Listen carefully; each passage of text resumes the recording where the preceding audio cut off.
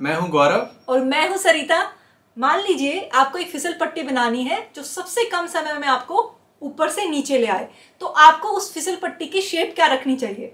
लगता तो यही है कि इन दोनों पॉइंट्स को अगर सीधी रेखा से जोड़ देंगे तो आप सबसे कम समय में नीचे आ जाएँगे राइट रॉन्ग असल में सबसे फास्ट जो शेप होती है शॉर्टेस्ट नहीं फास्टेस्ट जो शेप होती है वो ये है और इसका नाम है साइक्लॉइड कर्व और साइक्लोइड को समझने के लिए हम सर्कल के पास चलते हैं। सर्कल दादा, कैसे हैं? लेट्स रोल सर्कल को एक स्ट्रेट लाइन में चलाने पे, उसकी बाउंड्री पे कोई पॉइंट जो शेप ट्रेस करता है, उसी को हम साइक्लोइड बोलते हैं। और इसको आप खुद भी बना सकते हैं। एक सर्कल लेके, अगर उसके बाउंड्री पे छेद करके उसमें पेंसिल डाल दें, और फिर उस सर्कल को घुमाएँ तो ये जो कर्व आपको मिल रहा है, ये साइक्लोइड कर्व ही होगा। हमने लेजर कट करके एक खिलौना भी बनाया है, जिसका नाम है मार्बल रेसर और इस पे हम कंचों की रेस करा सकते हैं और देख सकते हैं कि कौन सा कंचा सबसे पहले नीचे आया। चलिए देखते हैं। मैंने यहाँ पे चार कंचे रख लिए हैं चारों पाथ पे, और देखते हैं कि कौन सा कंचा सबसे पहले नीचे आता है। वन टू थ्री को अब चलिए इसको स्लो मोशन में देख लेते हैं।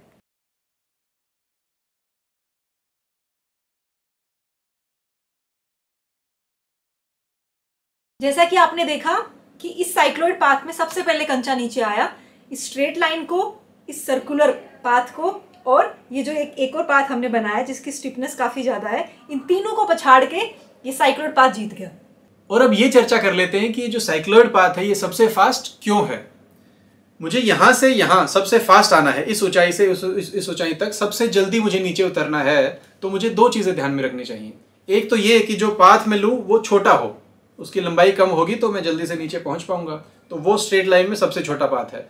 लेकिन दूसरी चीज़ जो ध्यान रखनी चाहिए, वो ये कि ये जो मेरा कंचा है, ये स्पीड से नीचे आए।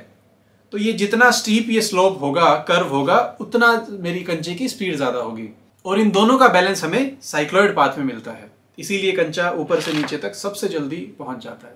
और हमारा जो ये मार्बल रेसर का ट्रैक था, ये असल में इन्वर्टेड साइक्लॉइड है। यानी इसी शेप को लेकर और उसको उलट दें तो हमें ये वाला कर्व मिल जाएगा।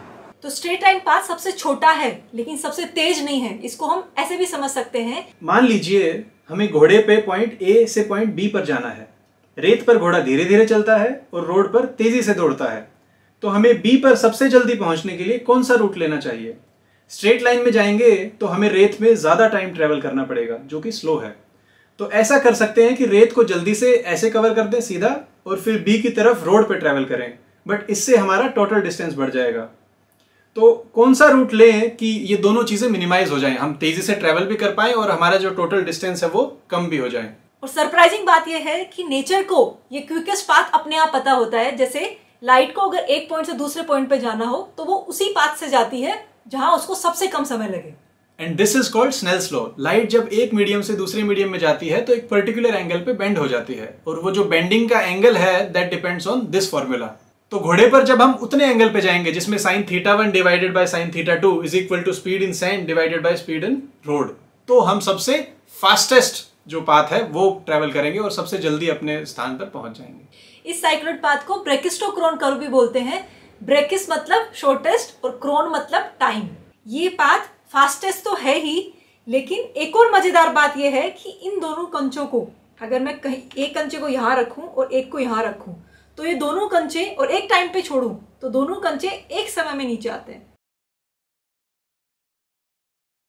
इसीलिए साइक्लोइड पाथ को टोटोक्रोन कर्व भी बोलते हैं।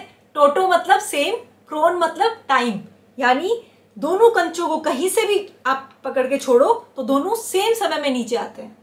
हमने सीसीएल में ये कार भी बनाई है, जिसका नाम है साइक्लोइड वेव कार। ये चलती सीधी है, लेकिन बनाती साइक्लोइड वेव है।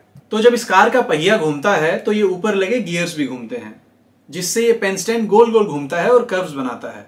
तो साइक्लोइड जो हमने देखा, ये एक तरह का ट्रोकॉइड कर्व ही है। सर्कल का रोल करते समय अगर वो पॉइंट जो हम ट्रेस कर रहे हैं, सर्कल की बाउंड्री पे है तो हमें साइक्लोइड मिलता है। अगर बाउंड्री के अंदर है तो हमें कर्टेड ट्रोकॉइड मिलता है, और अगर बाउंड्री के बाहर है तो हमें प्रोलेट ट्रोकॉइड मिलता है।